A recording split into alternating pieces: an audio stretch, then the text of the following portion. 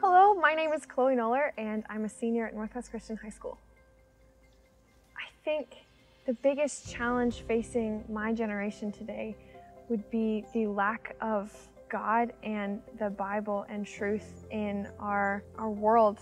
There's a lot of turmoil and a lot of questions going around right now, but at Northwest, they're really trying to encourage you in the truth and and help you understand how to live a godly lifestyle. Not only are we being fed truth now and we're being shown the Bible and we're reading the Bible and we're in it, um, we're learning how to do that after high school and how to continue um, building our relationship with Christ. I think that as Northwest Christian students coming out of this really strong Christian education, we can continue that, continue to, to continue to grow in our relationship with God and to um, encourage others and disciple others um, in that. And God can use us wherever we are and wherever we're at in our life, whether we're three or we're 18 or graduating or a college student. He wants a relationship with us and he's seeking after us. And so if we as students and as, as disciples of Christ, we can go out and stand up for truth and love on others, it would really transform and radically change how we view life and um, what we're doing to help others as well.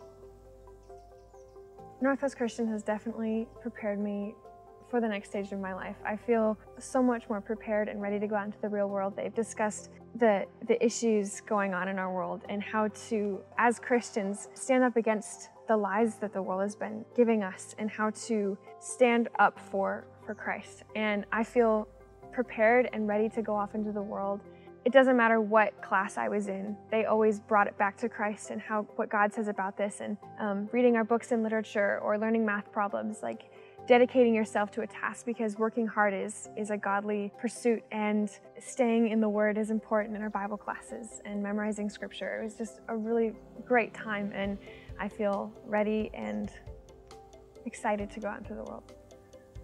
I think hope is being expectant and looking forward to what God has in our lives.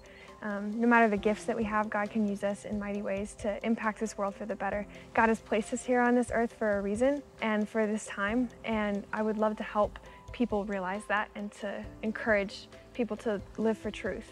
It, it's a wonderful school. The teachers here love us and care about us so much, and we have real and deep relationships with them, which I think is something that sets Northwest apart. These teachers really are here because they love us and they, they want to see us live out our faith in a real and tangible way. So I think it's an incredible gift that I have gotten to go here.